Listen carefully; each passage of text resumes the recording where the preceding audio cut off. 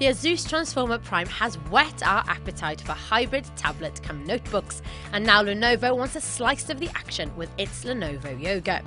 It's a Windows 8 notebook which has a 360 degree flip and fold design, so you can use it whichever way you want.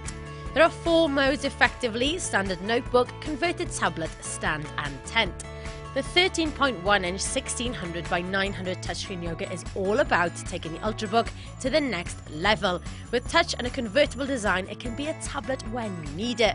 It's a reasonably standard Ultrabook weight at 1.47 kilograms, while the device measures an incredible 16.9 millimeters thick. But don't expect this yoga to come cheap. With the high-end specs, it won't be slotting under Intel's Ultrabook target price of $999. For the latest Lenovo and Ultrabook news, reviews, and features, keep a look at t3.com.